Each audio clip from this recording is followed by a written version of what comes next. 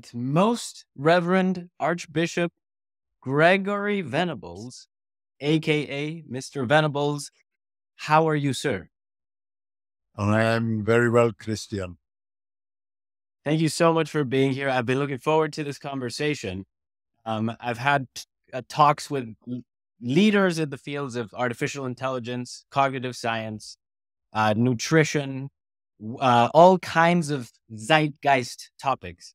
Um, but I hadn't really addressed a key theme in my upbringing and a key theme of my identity that was my Christian background. And I couldn't imagine a more fitting person to talk to uh, uh, at length about this, uh, given where the journey has taken me. And I think the time and place that we're in as a species today. Uh, so, why don't we begin with a bit of your background and your story to see what your story with uh, Christianity is and how we can take it from there? A little bit about myself, you say? Yes, sir. I was born after World War II in the UK. I'm one of the baby boomers, all that goes into that. And I grew up in a professional, well read family. My parents would do the Times crossword in the first few minutes before breakfast.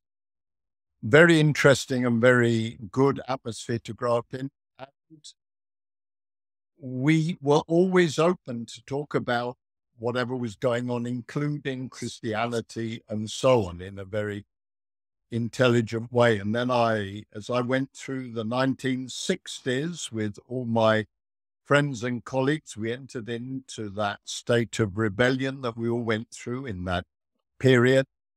And I ended up in the late 60s living in London, ostensibly at university studying, but really playing rock guitar at night hair well down past my shoulders. And I got to a place in 1969 when I took a decision. I was going to live as if there was no God.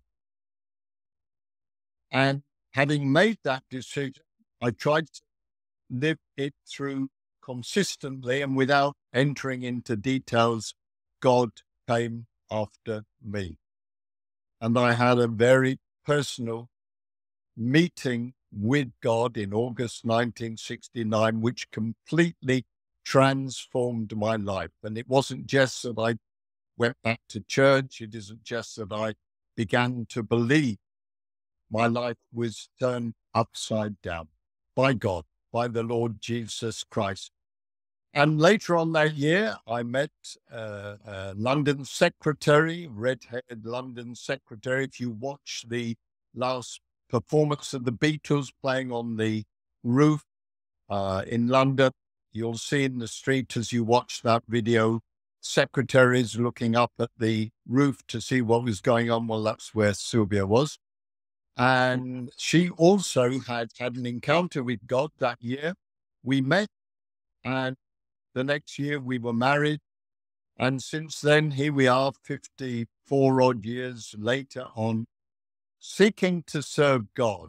The only major problem I had in my in my pilgrimage serving God was when God asked me to go into the church.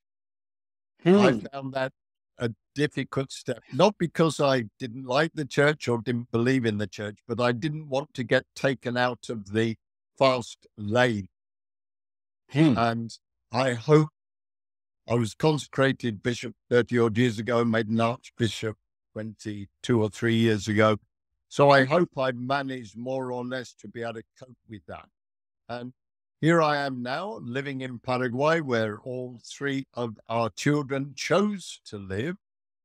And so this is where we came for our, uh, for this time of our life. So there we are, Cristian. That's more or less how I got to where I am now. That is fantastic because I I I want to start painting this picture around the conversation we're going to have that is going to bring elements of music, is going to bring elements of faith, it's going to bring elements of navigating institutions. And uh, this is the perfect starter to get a sense of where you come from. Um, but I want to double tap on the idea of that encounter with the logos, the the the meeting with the mind. Um, can you elaborate a bit on that, or is it too personal? My meeting with God, you mean? Yes. Yes. Well, I think I grew up believing in God because my mother gave me to God when she conceived me. How that happened, I wouldn't know, and I'd never asked her. But she committed me to God when I was conceived. And I grew up with a sense that it was far more logical to believe in an immanent and transcendent deity who is a person, not just a force or an energy or a meaning or a depth or anything like that. So I never really had any major problem believing in God and identifying him with the Lord Jesus Christ and the revelation of scripture because the Bible isn't so much a testimony of people's experiences of God. It's more about God speaking to us directly through people and through his word. So when I got to that stage of my life where I realized I was almost, if not completely, well on the way to being uh, postmodern and then on the way to hmm. post postmodern, which was, of course, what my generation has all been about. I made a decision mm-hmm. to live without that to see what life would be like if I wasn't believing in God. Mm-hmm. I never felt mm-hmm. comfortable with my immorality or the things I was doing. I have to say that. Not mm. that I didn't hmm. enjoy mm. sin. That would be a lie. But I never felt fully comfortable with it. But when I got to the place of an encounter with God, it was God who came to me there's a song by Graham Kendrick when he talks about Peter meeting with the Lord Jesus Christ. And he says, when he came to me, before I go to God, to me. And in the August of 1969, I was practicing with the band to do whatever we were going to do at our next gig. And friends from school who happened to be Christians came to say hi. And they sat down and waited till we finished our practicing. And then my friends went off and I had to stay because we were in my house. I had to stay with these school friends and they talked to me about God. And we got to four in the morning and I said, listen, you and I know you can't prove God to me. And they got up to leave. And as they left, the last one turned around and looked at me and said, okay, but what are you going to do with Jesus? Hmm. I went up to my bedroom. My bedroom window looked over the English Channel. And it was half four in the morning and it was August in summer. So the sun was just coming over the water, over the sea. And I said a prayer. I said, God, if you're there, I want to know you, please.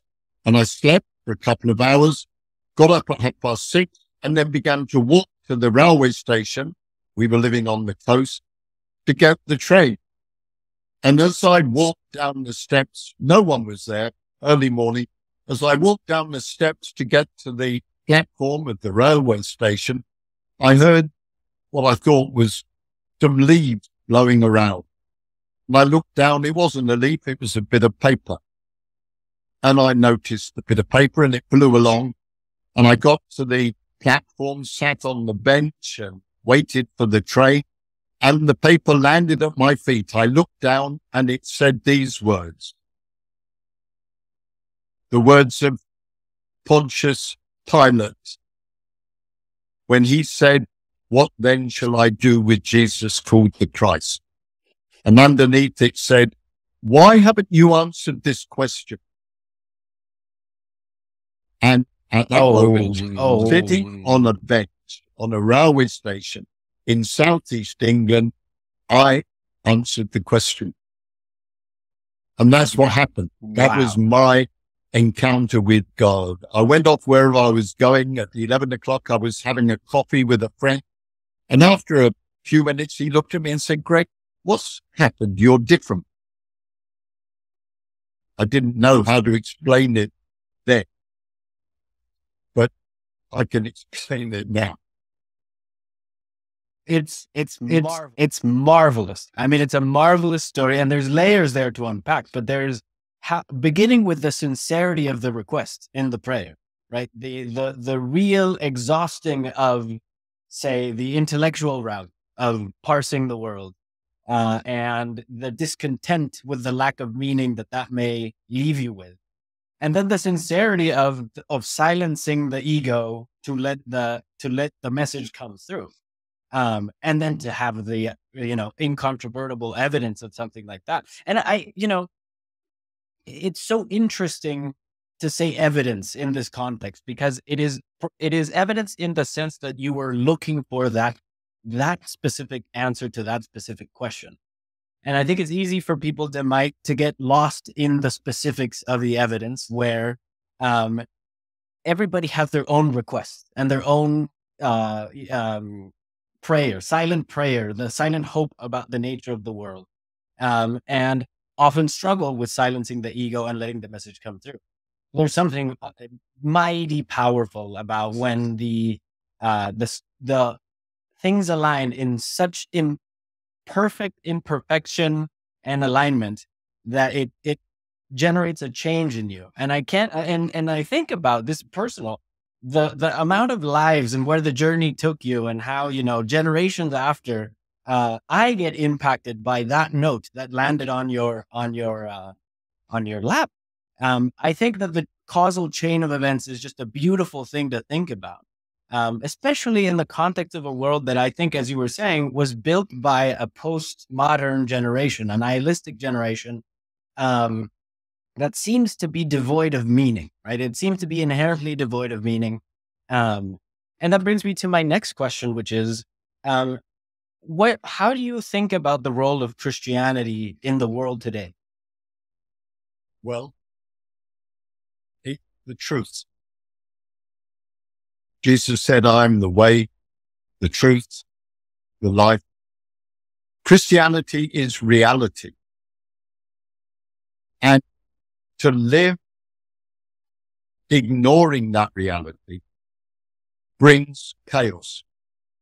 And we see it around us at the present moment, leaving on one side our concepts of what sin might be and immorality and whatever we, we consider to be um, symptomatic of that. If you live in unreality, it will affect you. We are the creation of God. And what happened to me on that railway station was God doing something before I reacted, before I thought, before I decided, God was doing something. And I think that is how we have to see because it's the reality of the thing. Christianity, not just what I believe, not just my understanding of things, not just my personal experience, but reality. The biblical word in Greek for truth means just that, reality. If you read the story the Bible tells us, which of course is history. And that works out very well because history is his story. It's what God is doing and what God has done. All encounters with God that you find through the pages of scripture are first of all God coming to somebody. All right. Um, well, sorry that the communication cut off. I mean, we still haven't figured out proper the perfect way to communicate across continents just yet, but we'll get there. Um, you you were saying you were saying about Christianity being reality and and how living in a state of unreality leads to chaos. Um, I think intuitively, of course, that is an easy statement to grapple with. That you know, being living aligned with reality is the path to fruition, uh, and living in accordance with fantasy is is is problematic. Um, there's another layer there that, given the context that I come from, the very secular world, the very um, uh, sort of secular materialist worldview, um, that pushes back against a statement like Christianity is truth. out of instinct because because of the lack of context of at that point the word christianity means something different to you than what it means to the people that might be listening to this right um thing objections of the sort uh, of how do we reconcile christianity as a tradition with other traditions who were also seeking seeking truth? Uh, the the um, judaism for instance. Uh, you know farther away things like confucianism uh, buddhism hinduism. Uh, and and how do we ascertain the the the nature of these things fitting together and arriving at the conclusion that Christianity is the truth? I think first of all we have to realize that if reality is reality, there's a difference between our perception and our idea of coming from us out and what God mm-hmm. has told us. Most religions in the world are human attempts to understand things and to interpret things from their own perception and their own experience. And there's nothing wrong with that. We do it all the time. From our earliest days, we are looking at the world from the center of the universe, which is me and you, trying to make sense of it. And we make sense of it in different ways. And it's quite rational and reasonable to come to the conclusion that there is some sort of meaning, that there is a unified answer, that there is a God, if you like. But that doesn't tell us about it. Mm-hmm. It's almost rationally possible to come to the concept of a deity, but who is he? Or is he a he.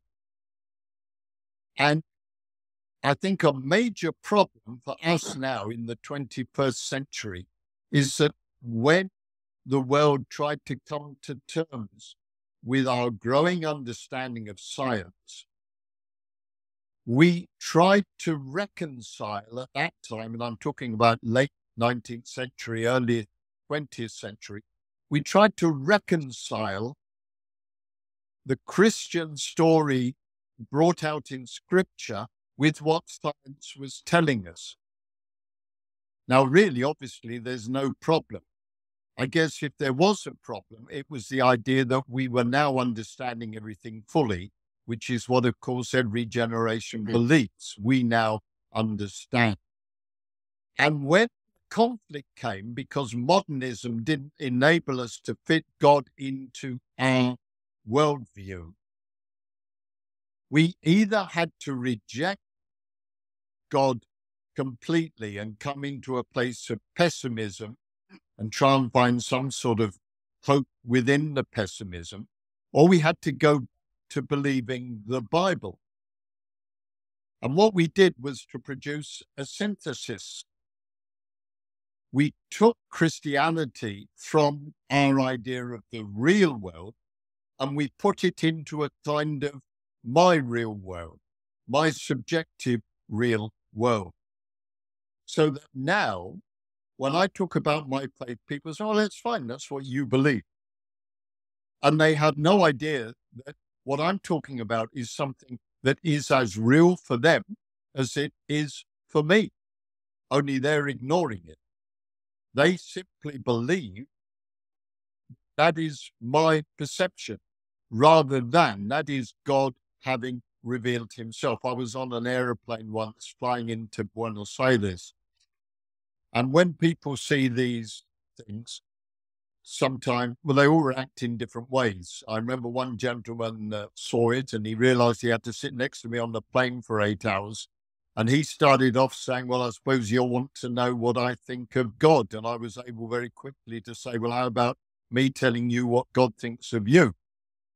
This particular lady, after trying to make a confession to me, she was a Roman Catholic, and I was trying desperately to explain the difference between an Anglican archbishop and a Roman Catholic archbishop before she told me too much about her sins. Then she came out with that statement oh, well, it doesn't really matter, does it, what you believe, as long as you believe it? That's postmodern faith. Doesn't Mhm. matter what you believe as long as you believe it. And I smiled at her because it's always nice to be friendly towards people when you're going to destroy their basic underlying thought patterns. And I said, Tell me, madam, when you send somebody to do your shopping and they say, What shall I buy? Do you by any chance say it doesn't matter what you buy as long as you buy something?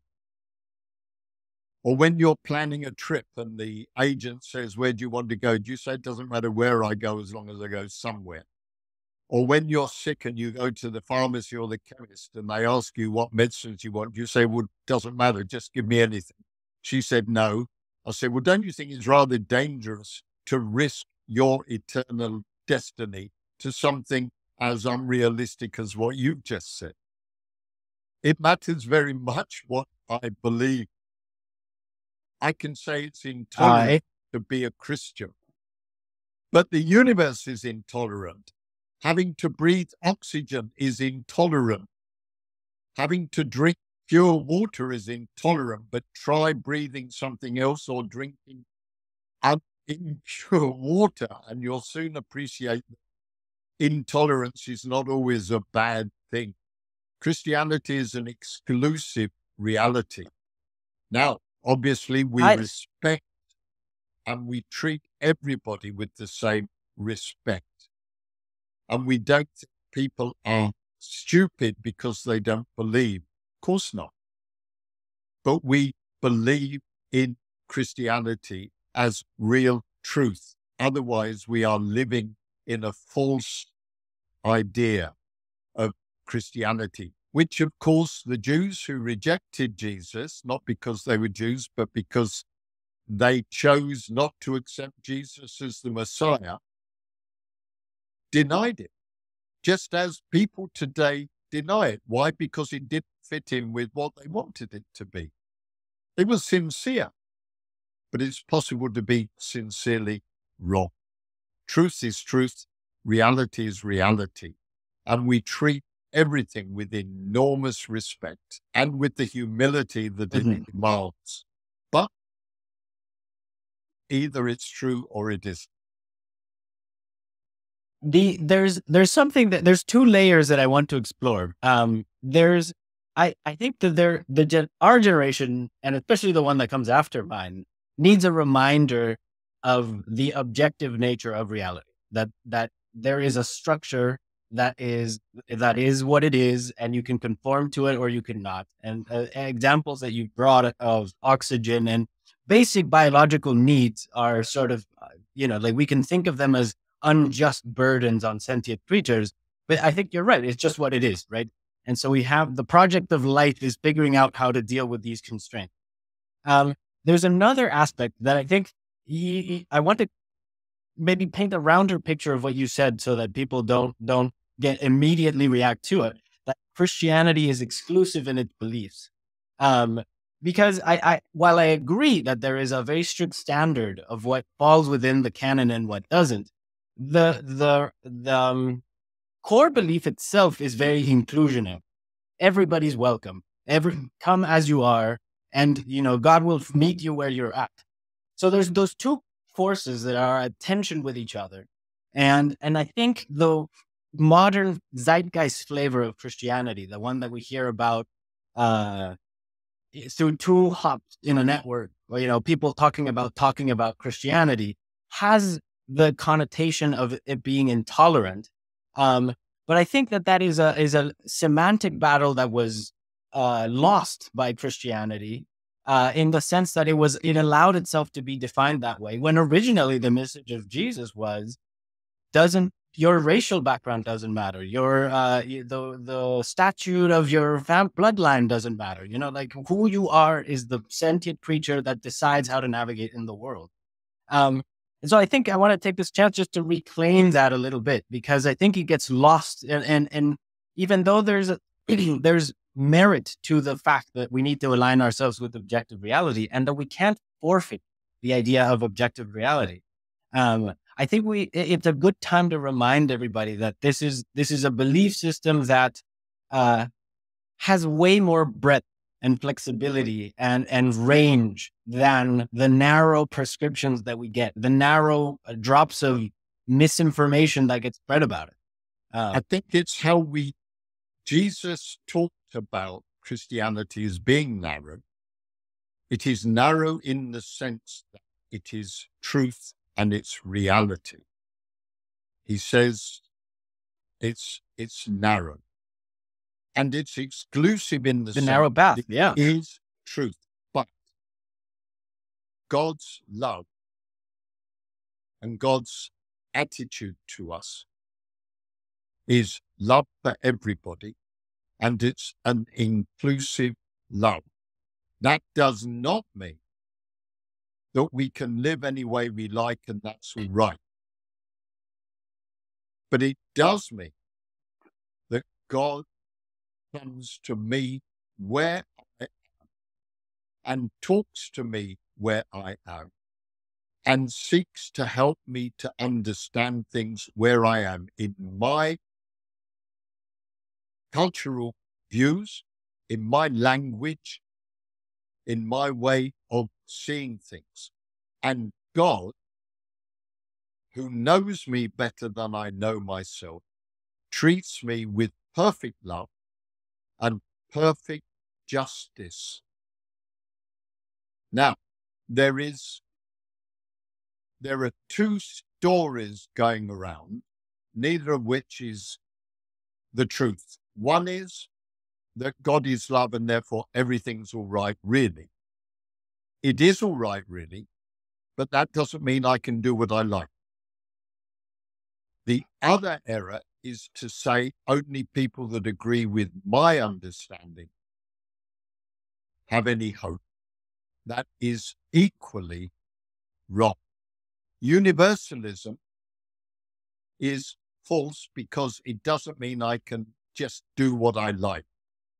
But narrow, what could we call it? Fundamentalism, whatever the correct, politically correct word is today, is not right either. Jesus came to the religious people who believed in God and they rejected him because he didn't fit into their pattern. Now, there are two things I have to always take into account. One is that God has spoken in his word, and that the Bible is the word of God. Every time we read in church, we say, This is the word of the Lord. This is God's word. It's true. But my perception of it, my understanding of it, needs to be thoughtful, worked out, and fitting into the whole picture. The trouble is, we tend to treat the Bible like we treat a lot of things in the world today with a kind of pick and mix mentality. We take what we like and we leave on one side what we don't like. You can't do that. So, first of all, we have take scripture in the light of scripture. Now, I know when I get to glory, when I get into the presence of God, very likely I will say, Oh, didn't get that. Wow. But I know there won't be a contradiction between what I've read in the Bible and what I see there. There might be a contradiction between my understanding might even be a contradiction between reality and the way I've experienced it. But there will be no contradiction between what the Bible has told me. And the other thing that will never change is the Lord Jesus Christ. He is always the Son of God.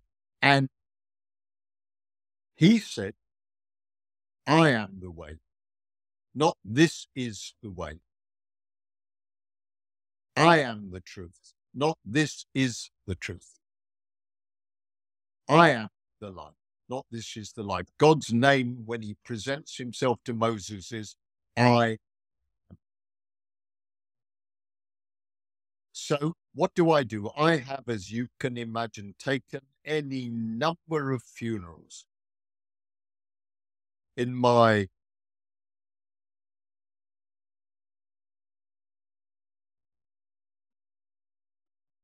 Forty years as a priest in the church,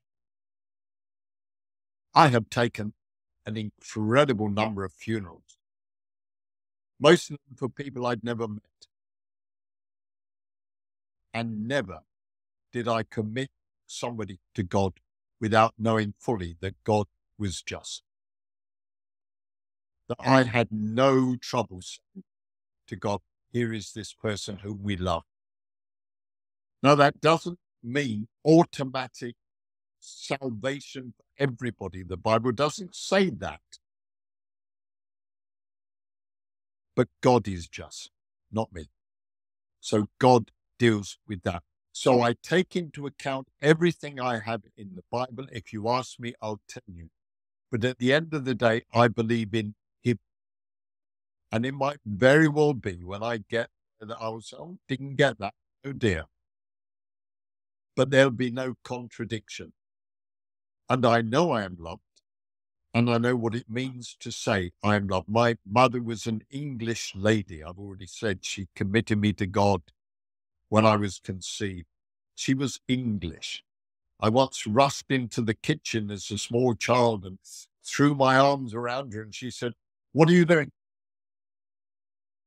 She was English. Hmm. English people today are probably different. I'm not talking about present English people. So you don't have to disagree with me, those who are watching this. But one day, driving my mother somewhere in the car, she said, Gregory, you are loved. And I knew that that was true. She never hugged me. She never kissed me. She never called me her little prince or anything like that. But I knew I was loved. And God loves us. And knowing you are loved is what makes the difference. But God is also good and holy. And there are things you don't do. I've been married to my dear wife, Sylvia, for 53, 54 years. And I have always sought to be faithful to.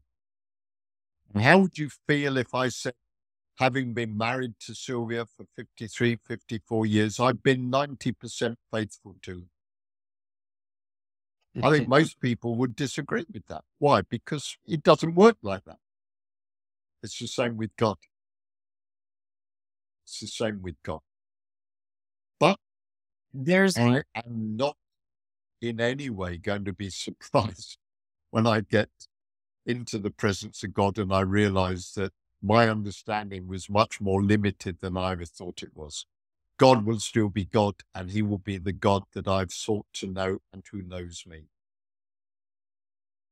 Um, I, I want to put a pin on the uh, "you are loved" comment because I want to I want to eventually get to Paraguay and San Andres and how that was one of the core tenets of my education, a feeling of being loved. So I want to I want to make sure we get to it in a bit.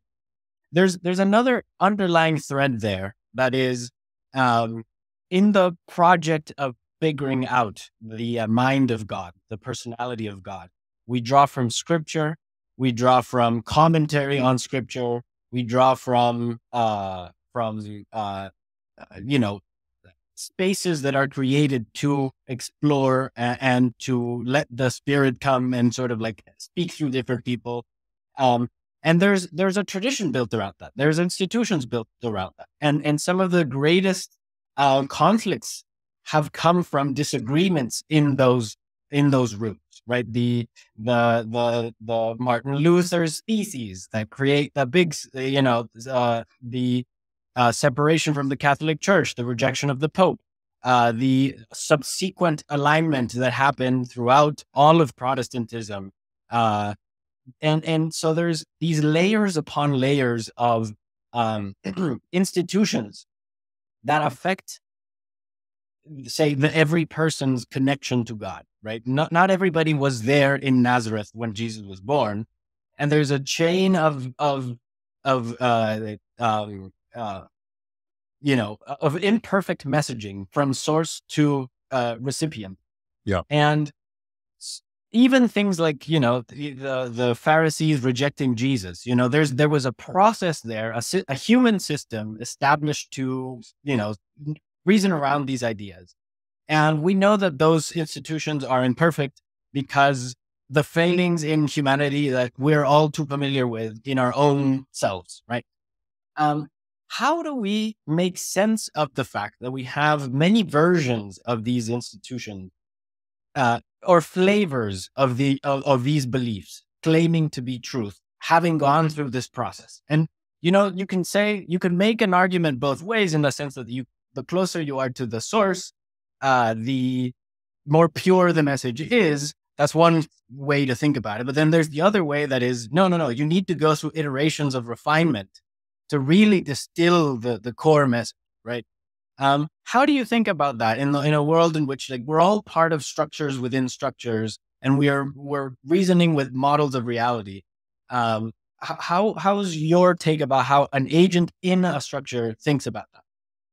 Well, I said earlier that perhaps for me the biggest problem I faced was choosing whether or not I would go into the ordained ministry in the church. Um, yep. What started as one united church that Jesus called my church, his church, is now divided into whatever, 35,000 denominations. It's a scandal. It's the result of history and whatever we do to seek to get together to dialogue. It's a very big question perhaps the, the biggest question is okay, so I believe. Where do I go if I want to meet with others? And the only way I deal with that is to say, I believe that some churches depend more on the Bible than other churches. Now, you remember when you were at school at St. Andrew's in Asuncion, although it's an Anglican school, you were taught the Bible, not Anglicanism. And I think that is how the church should be. Welcome to a bit of the church. But my job is to teach what God has told us, not the way we have turned it in our particular institutionalized form. Now, this is not easy. It's a real, really difficult problem. But we have to belong to something that we recognize as a part of the church. We have to realize what its errors are, and we have to be a part of it. And I really don't know the real answer to that, other than when it's down to me, I seek to teach what this says. I seek to clarify. I've spent my life, as you can imagine, Cristian, teaching, trying to teach church history. There's a book uh, mm. in Spanish I put together a few years ago about the Anglican way of, of seeing Christianity, but also what's gone wrong in the Anglican side. If God had put me where He's put me in the bit He put me in, I don't know what I would have done, and I don't know what I would do, to be very honest about your question.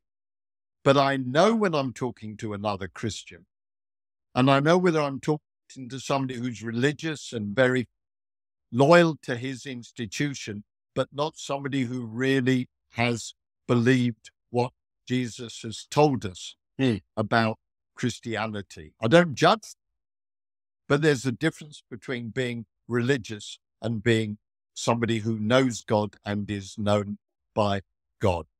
Um, I don't believe there is an institution today that we can say this is the true church. I don't believe there ever was. I believe in the first century, the church was local and what we call Catholic, not Roman Catholic, but Catholic in the sense of one sort of universal body. But the government of the church wasn't vertical. The government was local and mm-hmm. synodical. It was councils, people mm-hmm. who met together and prayed and sought to hear what God was saying. Now, I have no problems with my friends, for example, in the Roman Catholic Church. The present Pope happens to be a good friend of mine. We were very good friends when he was a cardinal in uh, in Buenos Aires, and I was there as Archbishop. He knows what I think.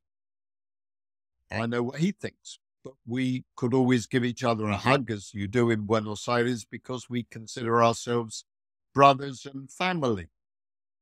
I think there are some denominations that have gone off the rails. And I think there are some that are trying very hard, but have got their basic uh, ideas wrong. But I think we've got to keep everything open, keep in dialogue, keep working it out together. But always remember this is where we find truth. And this says nobody comes to the Father but through Jesus. This says God is like this. So I can't mm. come to with my idea of God and change it. I submit my view of God and my view of the church to what the scripture says. But I recognize I can get it wrong and I listen and I try to learn and I try to hear what others are saying. And I try to adjust my thinking in the light of what I learn as I go through it all. But I've no contradiction between what I consider to be the church as revealed in scripture and my relationship with other Christians in the world. My problem has always been with the institutions, not with them as authority, but the way the institution manages itself when it tries to do that in a way which doesn't mm-hmm. tie in with the scripture. Mm-hmm. I yeah, I think that's all. That's I think it's the it's become the primary primary criticism of of of Christianity. It's that the institution. This is a criticism that I think is is present for every institution these days. Yeah. I think there's there's been an unveiling of the the let's call it the feigned sanctity of and institutions. The whole, sorry, just the whole religious authority one. thing. The whole question. The whole authority, authority thing. I'm an archbishop. I was a headmaster. In my time as a headmaster, when members of your family, including your dad, were, were at school, my authority was quite different from a headmaster's authority today. When I walked around the school, there was silence. Not because people were necessarily afraid of me, but because we had a certain view of authority. Now, when I was in Buenos Aires as Archbishop and the Bishop of, of Argentina for 21 odd years, most people called me Che. Che is a sort of equivalent of in English, English, oi, you. And that's fine. Same degree of respect, affection, just different language. But I agree with you mm-hmm. fully, Cristian. It is a major problem, and we have to get to grips with it because the whole image mm-hmm.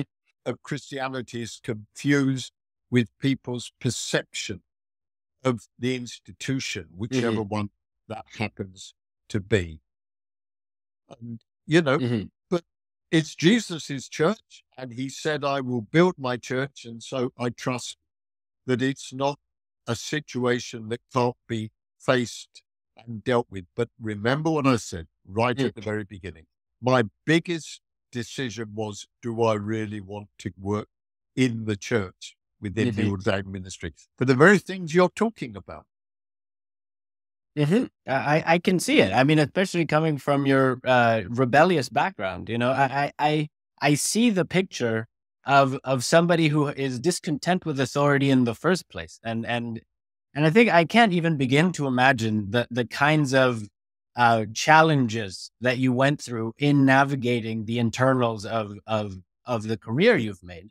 Um, but I, I want to also explore this, this theme with you that is, um, on scripture, uh, on the concept of scripture where um, there are statements in scripture like I am the way, the truth, and the light that to the uh, to people without the right context may appear disconnected from their model of the world right? So it, it it would be as if hearing somebody somewhere really long ago said that they were god and we just take that at face value. Why should you take that at face value? That would be the the inherent criticism of it um it's not until you get a bit of context and you understand where the con the context of the words and the the the the layers of meaning that are stacked on not just the words but the choice of the words the placement of the words the numbers associated with the words. Like there's so many layers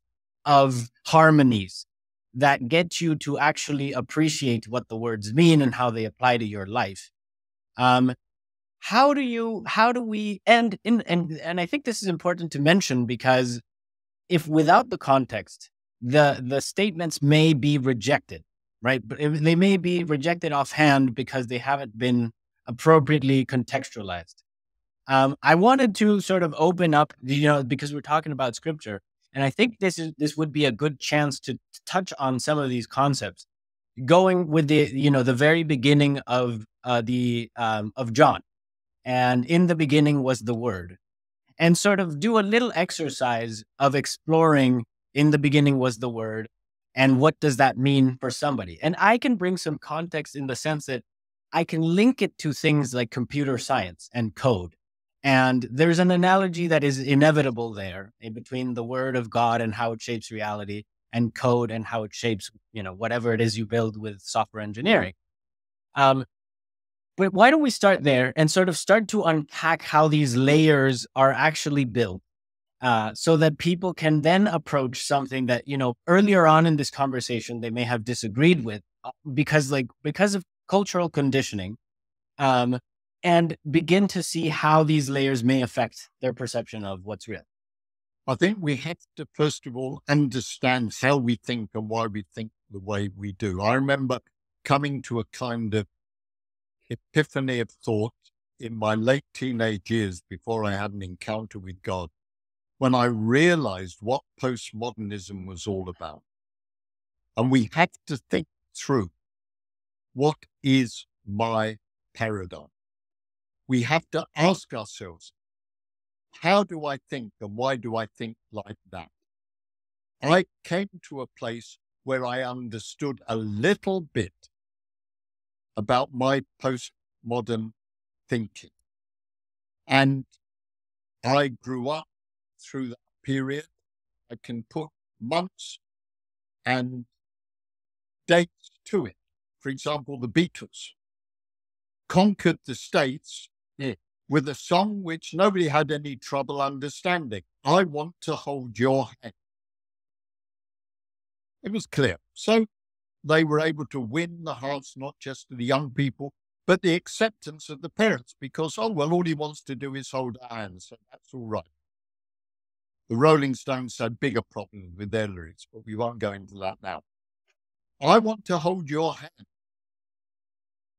Three years later, the same Beatles were singing,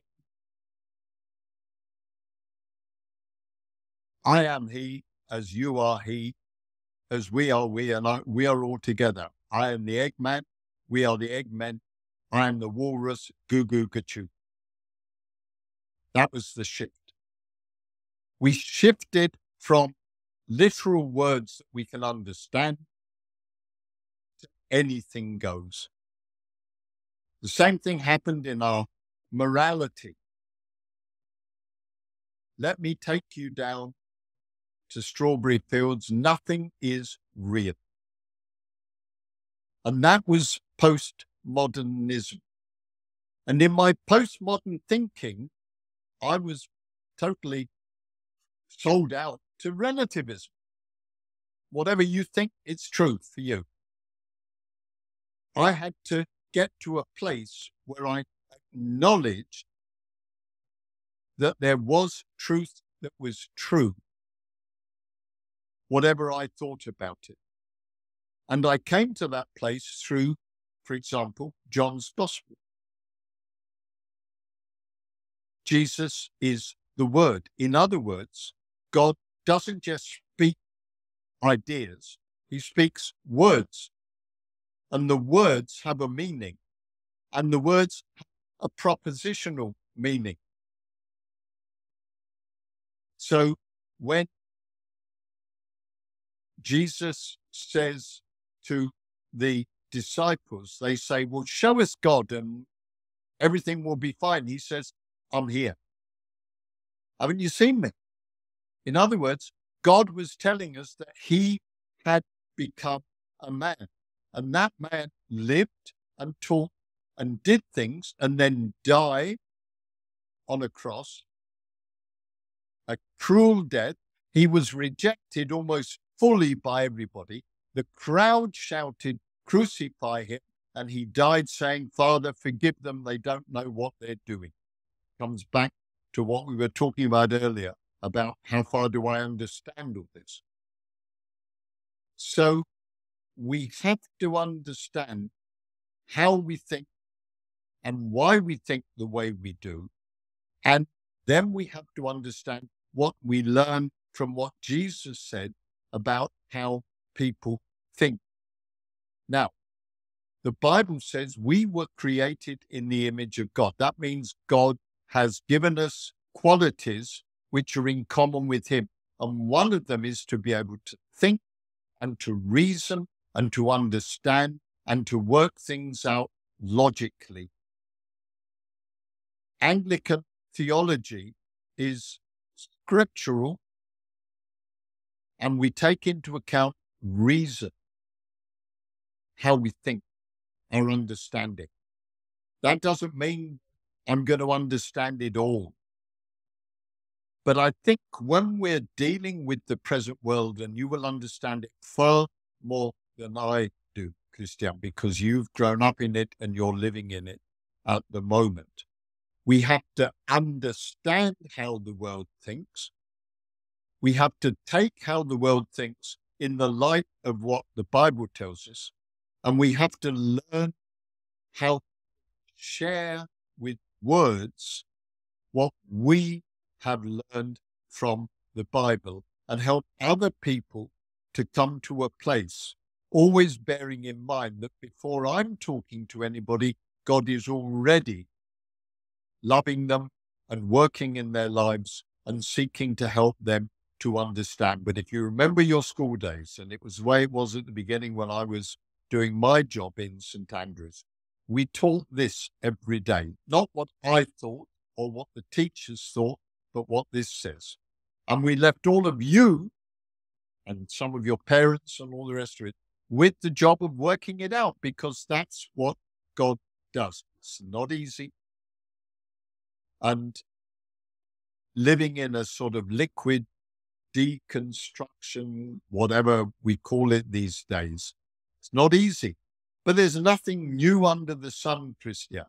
And if you go to the time of Jesus, Greek philosophy, Roman pluralism, everything that was going on in the first century. You remember when Paul preached in Athens and he talked about the unknown God. You've got gods as many as you want, but you've got one dedicated to the unknown God. Well, I'm going to tell you about him. And I think, you know, that is hmm. somehow maybe relative to this, to this also. Not an easy question though, Christiana, not one you can do, but you have to work it through. There is an author that was helping a lot of us when I was a young, when I was a student called Francis Schaeffer. And it's good to read Francis Schaeffer and his way of helping us to understand how we got into at least postmodernism. Then you'd need to go into post postmodernism and all the things that came after that. But uh,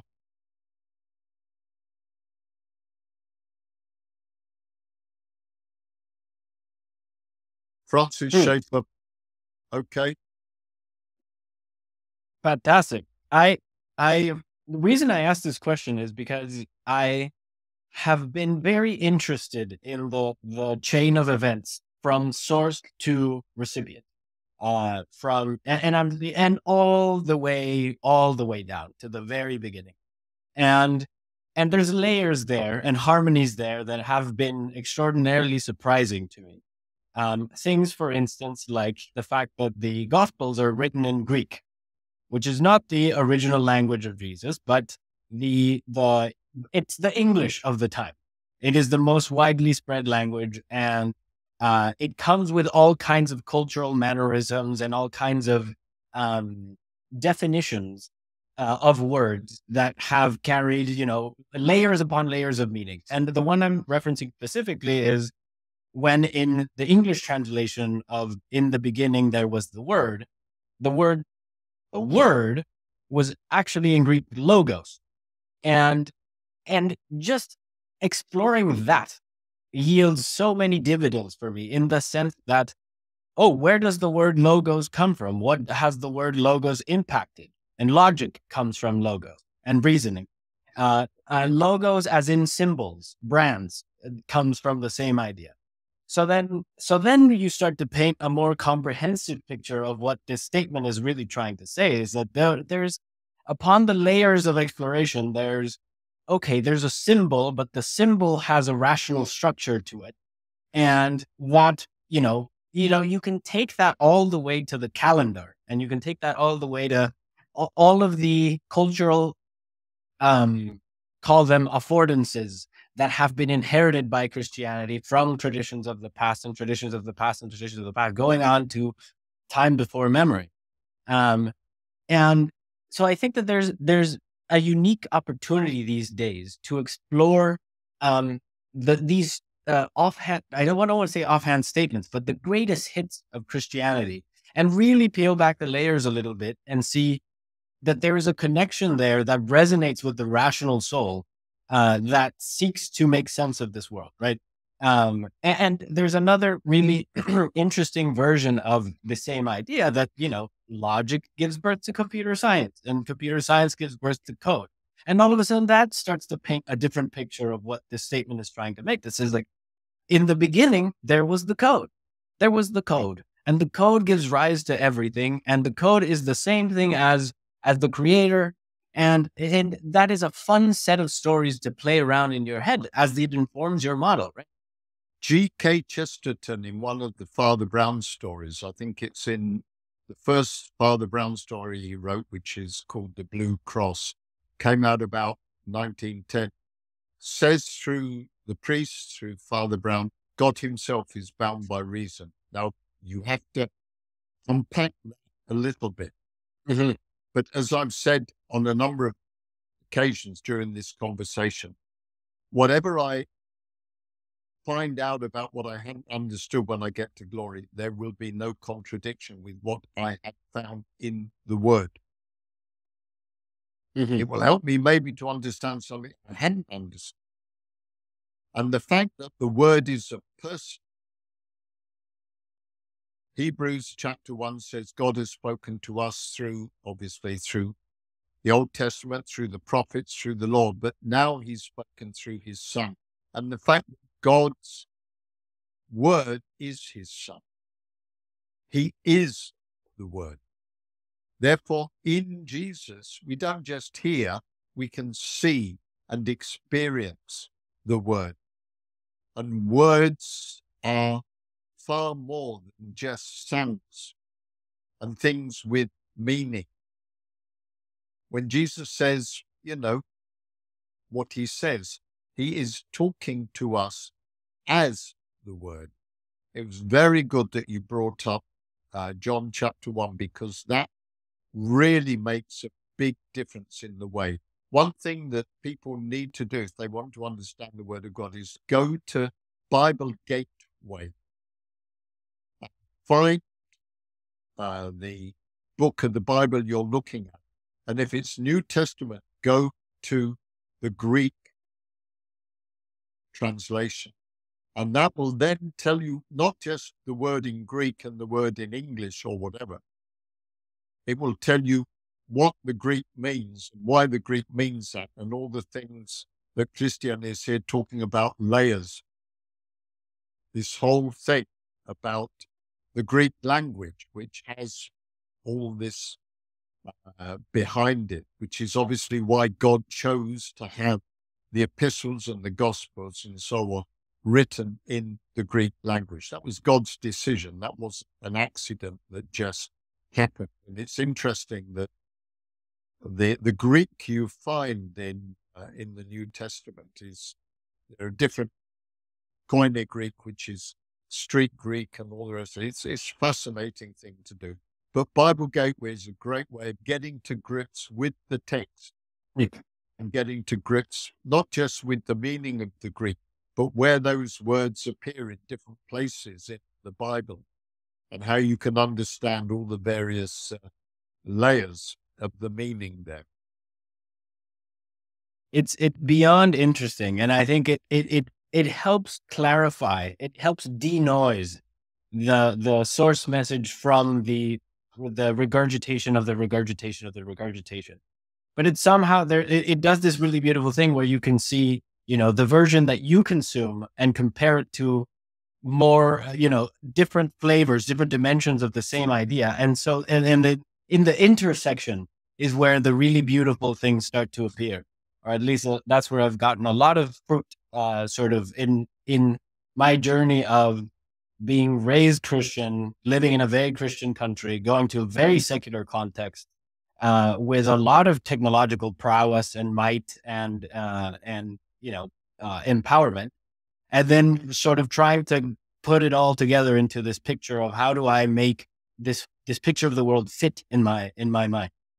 There's another there's another element there that is um, coupled with the the elements of of um, scripture that is faith, and the idea of faith as a as a subscription and, and as a commitment that we must make. And there's, and I wanted to sort of let you freestyle on the concept a little bit as you've, you know, experienced faith in your life and how faith has taken you places that you probably never would have imagined. Um, what's faith? What, go for it. First of all, um, and let's make clear to those who are sharing this moment, I did not ask you to tell me beforehand what you were going to talk to me about because I wanted to come to this the way we're coming to it. So I haven't got a bit of paper here with everything that I worked out at three o'clock in the morning. Faith, for me, begins with relationship. I believe the word of God, but I believe it because, first of all, Jesus is the word of God, and I know God through Jesus, and I trust Jesus and I trust God, and that's faith. I believe his word and I believe in his personality. And like everybody in this world, I have been through some extremely difficult circumstances, some of them very, very, very painful. But at the end of the day, I trust God. Even when I don't understand and that is faith. Now, believing in God is more than faith, it's a relationship. But it isn't just that I take a leap in the dark and close my eyes and hope. I get to know Him because He has come to me and He has opened my eyes and helped me to see he's done something in me. It's not just me looking out into the darkness, it's the light coming to me in a person. And knowing the person, I know light and I see things in the light. And faith is trust, and trust leads us. It's a difficult word, but we can say obedience. It doesn't mean just doing what I'm told. It means living in the light of the love that a person has for me and the love I have for that person. And that causes me to do things in a certain way so that I don't go against what that person is and who that person is and what that person means. For example, in marriage, there are lots of things I could have done, but a number of them I didn't do because I don't want to hurt my wife. Doesn't mean I didn't have the right, maybe, to do certain things. But love and obedience go together. Now, we don't like the word obedience, I know, because it all comes in as if there's, as if I'm not free. But I am free because I'm loved. Every time we do a wedding, the first question to the couple is, Do you want to marry this person? Because love is free. Love is free. And love is about trust and faith. And that's friendship, but it's much more than friendship. Jesus said, You are my friends. I'm your friend because we're in a relationship. So faith means knowing God, knowing the Lord Jesus Christ, the Holy Spirit lives in me and he helps me to know him. And knowing him, I believe him, I trust him. And even when I don't understand, and there are many things I don't understand, there are many things in Christianity which are, in our way of seeing things, antinomies. They, they, are, they seem to be contradictions. They're like parallel lines that don't meet. We trust. We trust because we know mm-hmm. God. And we know God. And the worst thing I can do about someone is to say you can't trust what they've said. I trust what mm. God has said even when I don't understand. So faith is mm. relation and it's knowing God and being known by God. When I made that decision sitting on a railway bench in 19, August 1969 in the southeast of England, it wasn't just that I decided to believe in God, it was that I knew God. Yeah. In a personal way. Same as I know you, Cristian, same as you know me. It's a relationship. It means, mm-hmm. and the person is a person. But wow. There, what a question. What a subject. it's fun. I mean, I, I think, well, I think there's a, there's a broader sense of people sort of catching the grift of, of the modern zeitgeist and, and seeing that there's layers of meaning that we've forfeited and that we, that there's something empirically missing about the picture that we've painted as, you know, in, in the distilled mythology of the modern times. And, uh, and I think, I mean, the, the reason I brought up faith was because, you know, you know, you get to that point where you, um, where you are dissatisfied with the worldview and, uh, and then you, you have to make that sincere change that is unprovable. That is you're out of the model that you've been in. You have to leave the house. And, and and there's a very real sense of I know that I am artificially putting myself in this position, and I have to trust that. And I think that that is that is that is something. But in that very difficult process, a humbling process, uh, uh, you know, uh, an incredibly life flattening process, uh, is the cure to the nihilism, the cure to the nothing has meaning, the cure to nothing matters anyway. We're all gonna die yeah. Uh, all of that goes away as soon as you believe, as soon as you allow yourself to believe that there could be something more, right? That there could, that this could be not enough. This is insufficient. And, and faith is a difficult word. I mean, there's a difficult world in word in a world that institutions have abused of the faith that we put in them. Right. And yeah. now, you know, sort of with the flood of information that we have, we can see where those failings were, and it becomes even more difficult to have faith, right?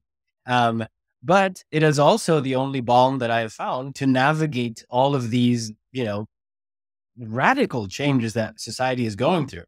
Um, I wanted to uh, dive deeper into the, the the places that your mission and your calling took you, and talk a little bit about Paraguay, because as somebody who's seen what you've seen, and to have landed upon perhaps one of the most remote places in the world and then to have chosen to stay there and come back after it, even after a while of being gone.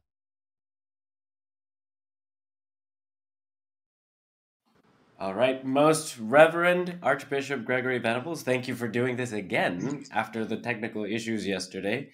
I'm actually grateful for the technical issues because I meant to ask to start with a prayer to, to really set the tone for the conversation we were going to have. And I was so excited and nervous that I forgot. So now that we get a chance for the do over, why don't we begin with that? Let's pray. Heavenly Father, we thank you for this enormous privilege of sharing together in your presence. We thank you that you're with us and you are with us personally in your power, in your love, in your goodness.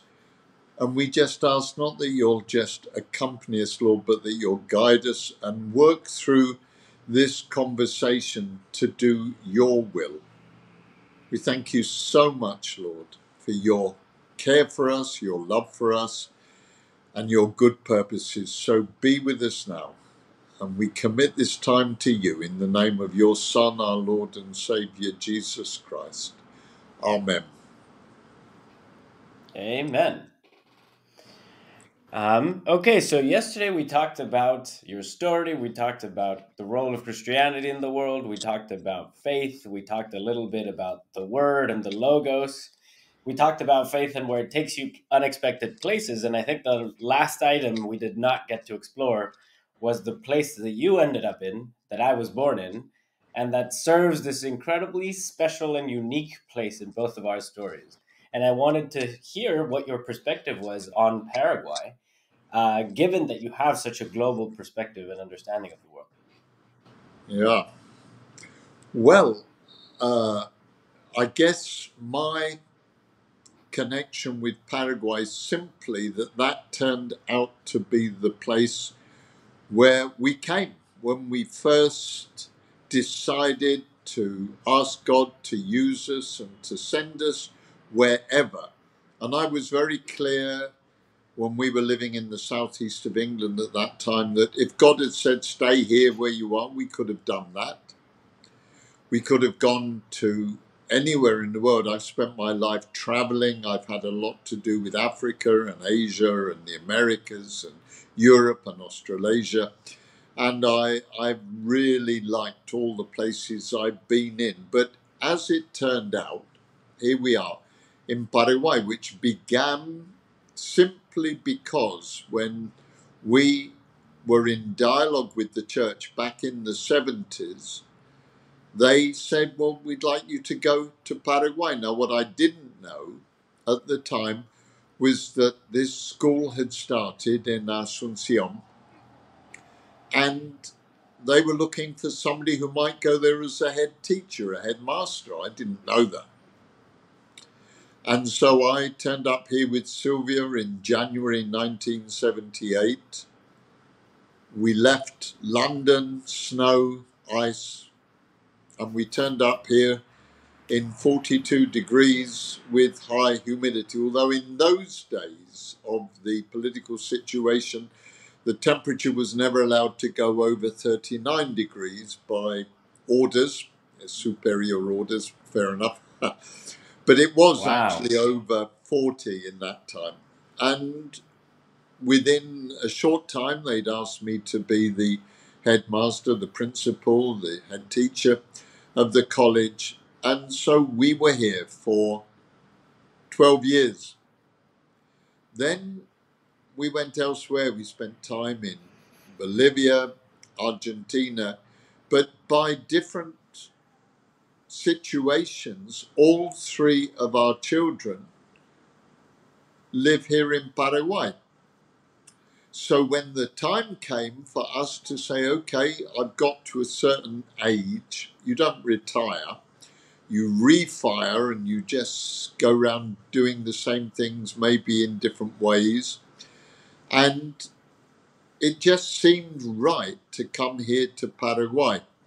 But we came here more than, let's say, over 30 years since we left. And anybody who knows anything about anywhere in the world is that 30 years is a long time in the history of a culture and a country. And we came back to Paraguay, but of course it wasn't the Paraguay we left 30 years ago. Mm. And we weren't the same people who left here 30 years ago. But here we are, and this is where we are now. And if you ask my wife, she would say, well, it's where we are, and that's where we are. it's not a case of do we like it more or less. You just have to be where you are, and we're very happy to be in Paraguay. And as you said, Cristian, it's a very different place. The only way you can know Paraguay is to be in Paraguay. Mm-hmm. And nobody goes to Paraguay unless they're going to Paraguay. You don't go to Paraguay to go somewhere. You go to Paraguay because right. you're going to Paraguay. And here it is. Here it is. It is where we are, and we consider it an enormous privilege. It's not easy to retire, although you don't mm. retire. It's not easy. I had, let's say, full authority over the Anglican Church in South America for many years.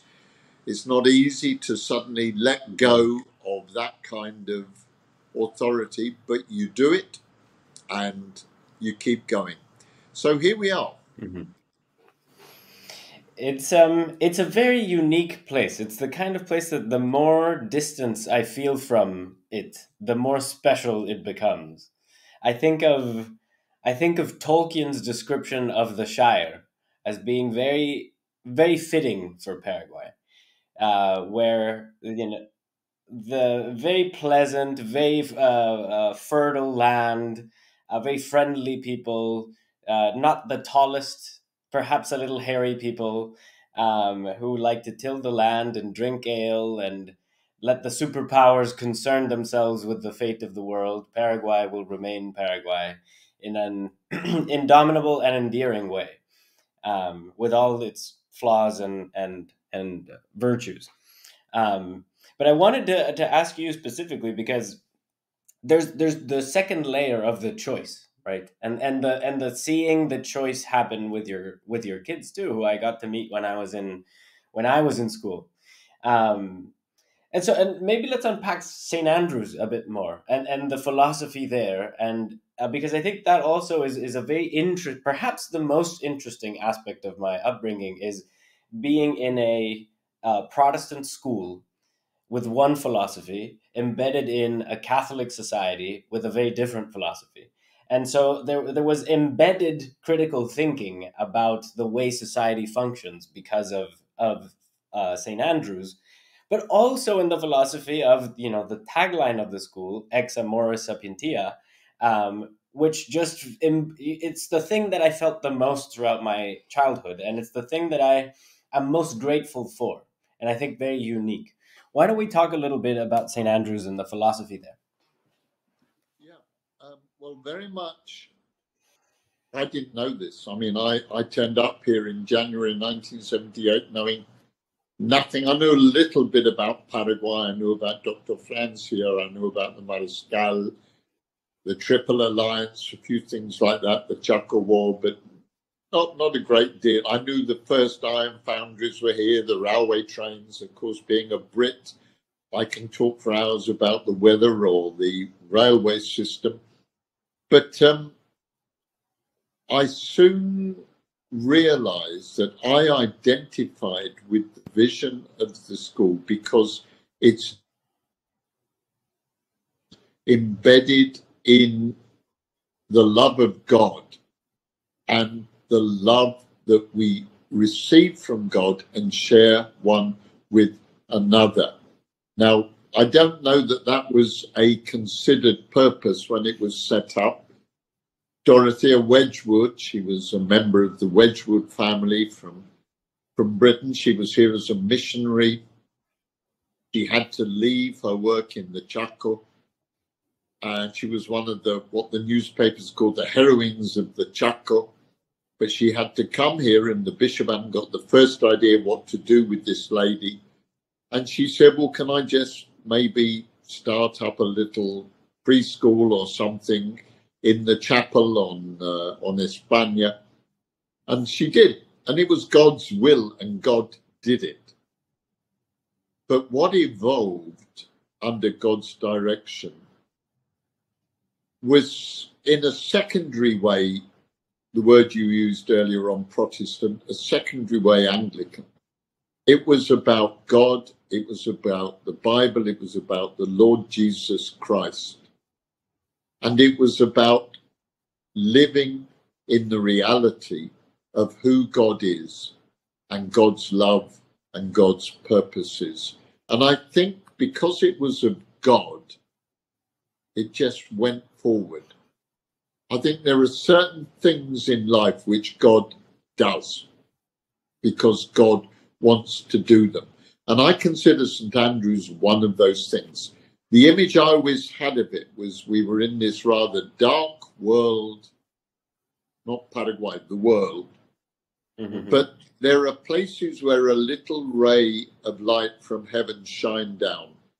And I've always been convinced that a little ray of God's light shines down on the corner of España and Santos, where the school is uh, is set, and I think that's God, and it always has been God, and it seems to go on being God. When I left the school, I was right there in the very heart of everything. It was my life, it was my vision, but I knew it was time to leave. And I just let go as I do when I leave wherever I leave. But God was here continuing. If it had failed when I left, then it would have been wrong what I'd done. If what you do doesn't go on getting better when you leave, you've done something wrong. And mm-hmm. it's continued. It's not perfect, and that's why it's real. It's mm. not it's not in any way I think anything that you can understand if you haven't been a part of it, what you were saying mm-hmm. earlier on. And I think, I don't know where it's going to go now. I am mm-hmm. here. I feel there's a lot of things that could happen. They asked me to oversee the the school board while I'm here, which mm-hmm. I do with a great sense of privilege. But all I do is just lead the meeting other people do mm-hmm. it. That's always been my secret. I get a brilliant team around me, mm-hmm. and then I can just sit and drink tea and let everybody else get on with doing all the work. And it continues. I mean, nobody knows where Paraguay is going to go any more than we know where anywhere is going no, to go. Yeah. But I think Paraguay can't stop being Paraguay. I like your comparison with uh, Tolkien's Shire because that's a very good image. It's very much. I used to consider it Narnia. For me, hmm. it was Narnia. My dad used to say to me, What's it like coming backwards and forwards? I used to say, It's like going into another room, if you like, going through the wardrobe. So when yeah. I used to come from England to Paraguay, it's like I got in the wardrobe and I came out.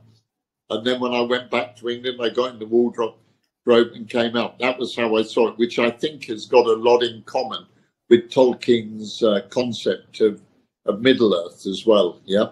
Mm-hmm.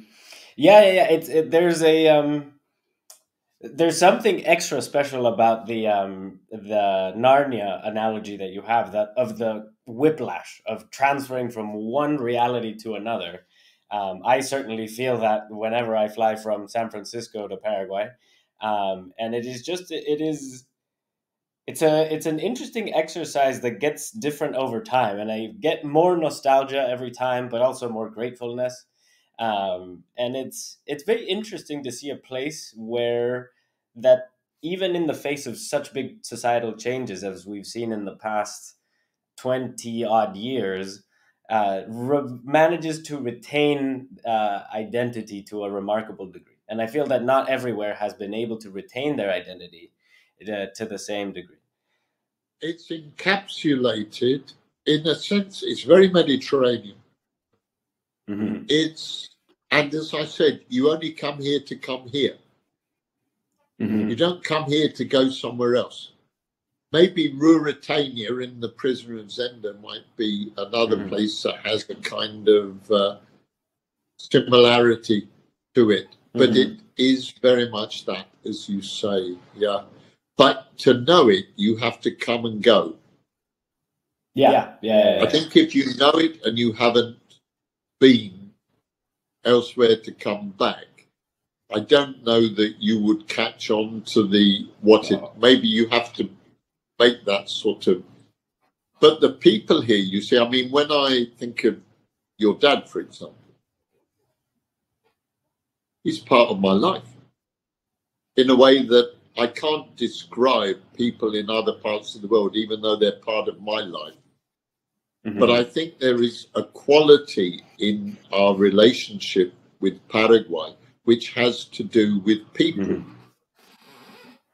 It's very relational. My son, our eldest son, has married a Paraguayan girl.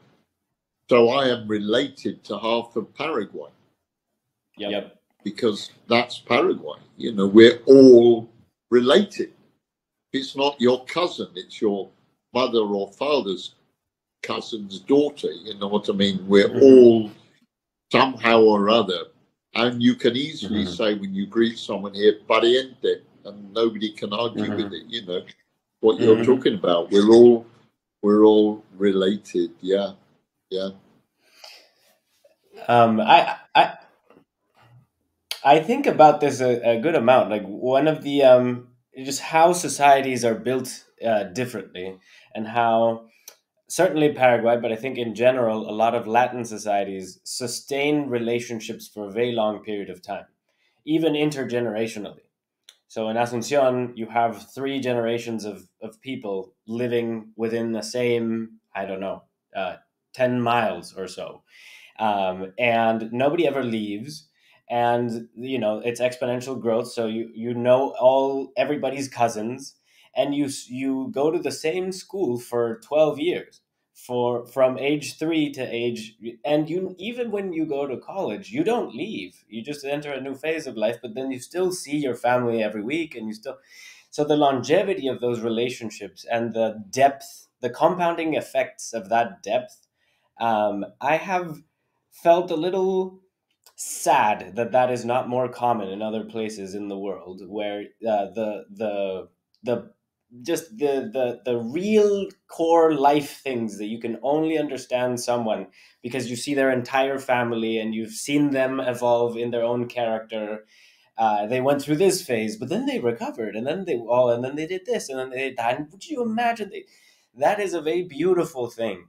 Um, at the same time i also resent sometimes a little bit the lack of individual uh, enthusiasm that has made uh, some Western societies develop and formalize to to the degree that they have, right? And so I, I find myself in the balance of of of uh, you know the the the good parts and the parts that can be improved, and and really struggling with the relationship there.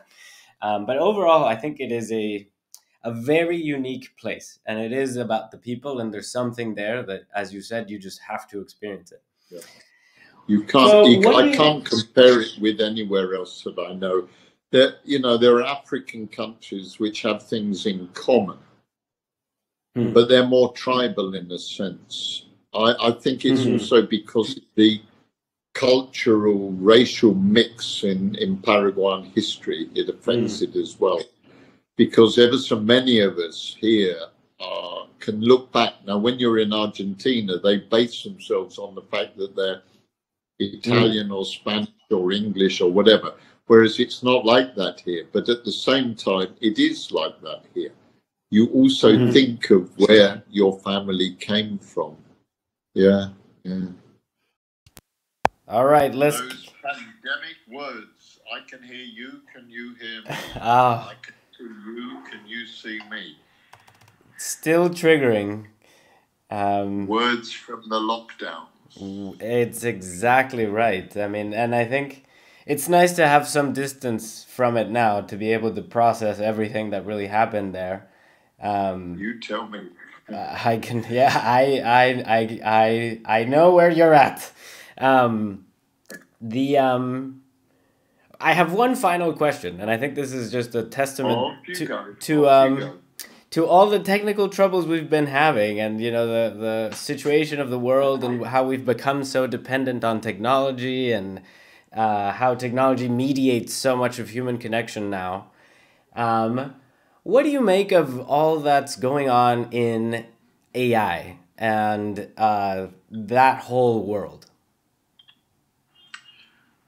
I, I'm not anything like as knowledgeable as I would like to be about it, but I can understand a lot of the the basics. I think it's natural that we should try to go that way.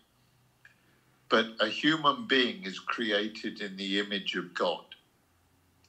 And therefore, however close you can come to duplicating what we are and how we think and everything, you will never produce anything that's anything other than just a technological um, puppet.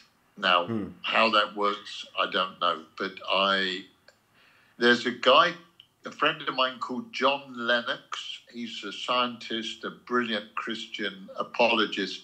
L E N N O X. Mhm. John Lennox. Look him up. I've done. I did a conference with him once, which was a brilliant thing to be able to do. Look him up. He's Hmm. very good on that. But basically, human beings aren't just intelligent animals Hmm. or products of whatever. We are the creation of God and we are created in His image, whatever that means. And therefore, you cannot do any more than just try and produce a, something which maybe reflects some aspects of what we are. Yeah, I think that there's um there's it's a fascinating world because we figured out this way to communicate with these technological puppets in a way that we can't dis- we can't distinguish from the way we communicate with each other. And that Yeah. affords uh, room for uh, confusion, but also a high degree of enlightenment in the sense that it sheds light on what we do without realizing we are doing. How much Exactly. uh, we react instead of act. Yeah, Uh, yeah. Human beings are relational. We were created in God's image to know Him and relate, which is why the world is relational, which is why you can't. ru- It isn't just that you can't rule it out, it's what we are. mhm. And, you know, and be, I mean, okay, now I, I, I really do not know. You were talking yesterday about the next generation. I know so little apart from my grandchildren what that is all about, and I'd love to know a little bit more. Mhm. But you can't rule out the fact that that whatever their view of everything is, and everybody says it was an avalanche change in the way Mm. people think and the way people do things. But you're not going to stop being what you are. Hey, the Mm. wind's blowing outside the window. That's probably why the electricity went off. Mm, I've got, I've got trees all outside here and it's all blowing very highly, but it's sunny. Hmm. Yes. Um, the electricity cuts off here every day at the moment. that's that's so sad. It had it had gotten better. Unf- uh, It had gotten, it had got better, but uh, but it's only the last couple of weeks. hmm. I think Uh, yeah. There's just overloading with the temperatures as well, obviously. hmm Um, the uh, the trials of of the life in Paraguay. Um, but you know, we've had power outages here in San Francisco. To my surprise, Oh, yeah, we've had. it happens. It happens. It happens. Um, Listen, Cristian, I'm going to have to push off a moment. There's somebody here banging at me. If you need any more or any picking up or any working through, all you need to do is send me a note and I can do two minutes, five minutes, 10 minutes, whatever you need, whenever you need, excellent. especially when the electricity's come back. So you fiddle around with it all and then get back anything you might like to use or put in or adapt or whatever. And I'm here at your call, okay? Thank you, sir. I hope you have a great day. I will reach out in the next few days. God bless you. God bless you. Have a great one.